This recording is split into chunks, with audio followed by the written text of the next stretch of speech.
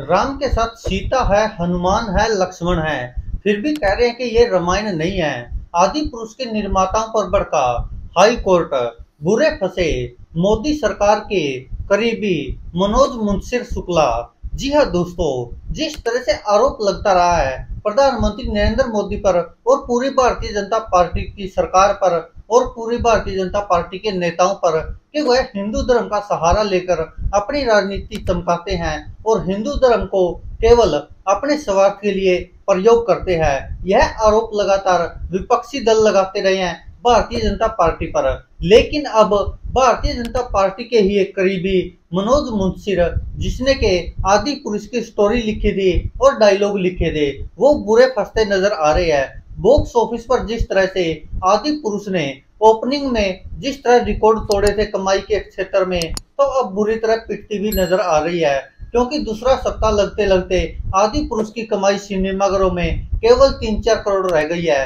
लेकिन आप सोचिए कि दो बार टिकट के रेट घटाने के बावजूद भी लोग आदि पुरुष देखने के लिए तैयार नहीं है। और आदि पुरुष को रामायण का एक बद्दा मज़ाक कहा जा रहा है। और शायद लोग चाहते कि अब यह फ़िल्म बिल्कुल बैन हो जानी चाहिए। जिन्होंने देख ली, उनकी गलती हो गई, लेकिन आगे से कोई और ना देखे और किसी ओ टी प्लेटफॉर्म पर आदि पुरुष को रिलीज़ ना किया जाए। जी हाँ दोस्तों, लगातार सुर्खियों और विवादों में रहने वाली प्रभास और कृति सेनन की आदि पुरुष अब हाई कोर्ट में फंसती नज़र आ रही है। और डायरेक्टर ओम राउत और स्टोरी राइटर मनोज मुंशिर शुक्ला भी बुरी तरह फंसते नज़र आ रहे हैं। जी हाँ दोस्तों, जस्टिस राजेश सिंह चौहान और जस्टिस श्री प्रकाश सिंह ने तिखी टिप्पणी करते हुए कहा कि हिंदू सहिष्णु है तो क्या आप उनकी भावनाओं से खेलेंगे?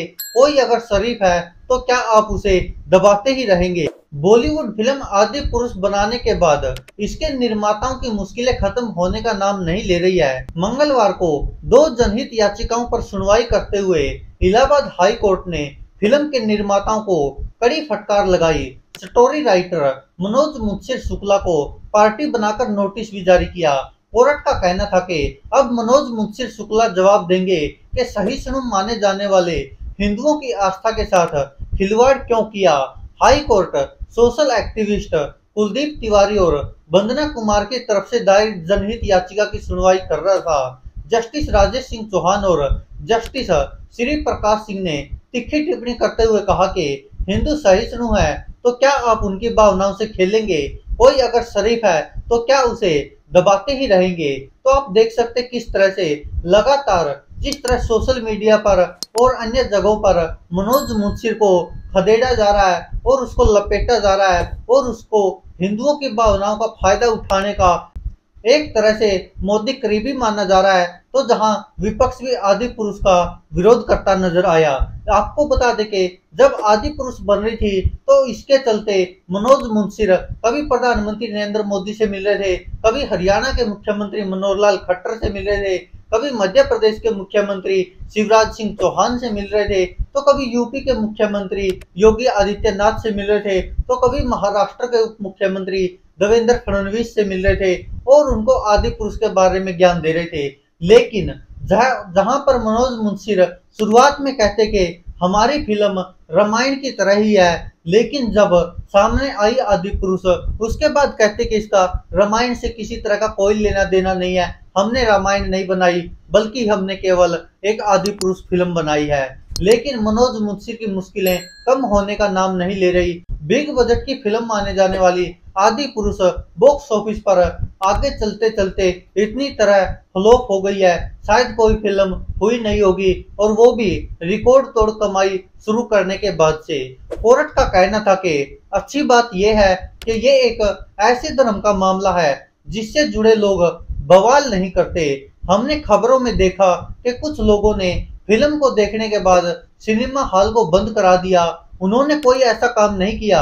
जिससे लॉ एंड ऑर्डर की समस्या खड़ी हो। लेकिन क्या आप उनके ज़रिए की परीक्षा लेंगे? याचिका पर बेंच ने कहा कि ये प्रचार के लिए नहीं है। इनमें गंभीर मुद्दे उठाए गए हैं। जस्टिस राजेश सिंह चौहान और जस्टिस श्री प्रकाश सिंह ने कहा कि फ़िल्म में ऐसे किरदार हैं जिनकी लोग पूजा करते हैं। लोग घर से निकलने से पहले रामचरितमानस का पाठ करते हैं। फ़िल्म बनाने वालों ने कुछ भी नहीं देखा। उन्होंने राम सीता और हनुमान जी का मज़ाक बनाकर रख दिया।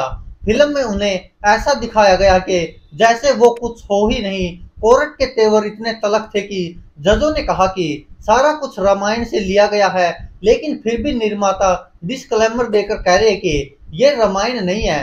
क्या आप देश में रहने वाले लोगों को बेवकूफ़ और ना समझ मानते हैं?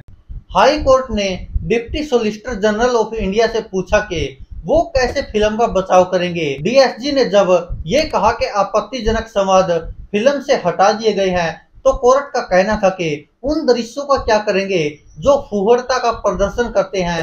जजों ने उनसे कहा कि आप कंपिटेंट अथॉरिटी से हिदायत लेकर आए, हमें जो करना है, हम करेंगे। बेंच ने तो यहाँ तक कहा कि अगर फ़िल्म को रोक दिया जाए तो क्या लोगों की जो भावनाएँ आहत हुई है तो वो फिर से ठीक हो जाएँगी। अदालत ने स्टोरी राइटर मनोज मुंशिर को पार्टी बनाते हुए उनको नोटिस जारी करने का आदेश दिया है। तो आप समझ सकते हैं दोस्तों, जहाँ देश के लोगों की भावनाओं के साथ खिलवाड़ किया है मनोज मुंशी शुक्ला ने और ओम राउत ने तो वहीं हाई कोर्ट भी उनको माफ़ नहीं करना चाहता, क्योंकि जिस तरह से हिंदू धर्म का सहारा लेकर वह अपनी जेबें भरना चाह रहे थे, शायद कुछ हद तक सफल भी हो जाते, लेकिन जिस तरह से फ़िल्म को देखने के बाद इतने वाहियात रिव्यू आए और लोग गालियाँ देते निकल रहे थे और ढूंढ रहे थे कि कहीं इसको लिखने वाले मिल जाए, कहीं इसको बनाने वाले मिल जाए तो जूते चप्पलों से उनकी पिटाई की जाए। जिस तरह से उन्होंने भगवान राम का, हनुमान का मज़ाक बनाकर रख दिया, जिस तरह माता सीता का मज़ाक बनाया है।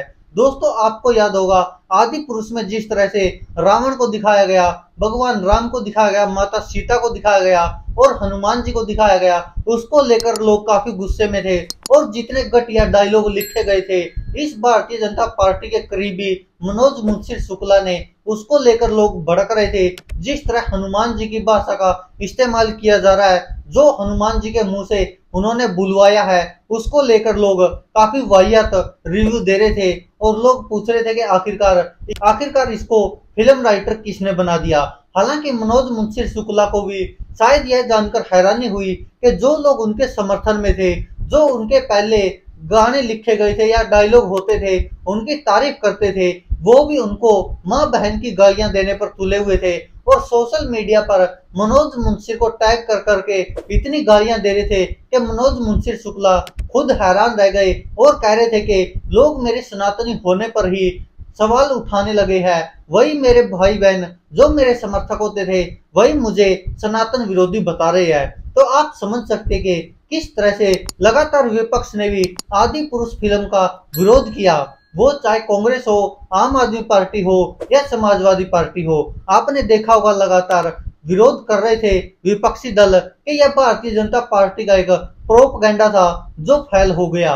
हालाँकि विपक्षी दल तो ये तक आरोप लगा रहे थे कि ये 2024 के चुनाव के लिए बनाई गई फ़िल्म थी और भारतीय जनता पार्टी के मुख्यमंत्रियों और तो और प्रधानमंत्री नरेंद्र मोदी का भी साथ था, तभी यह ऐसी फ़िल्म बनाई गई।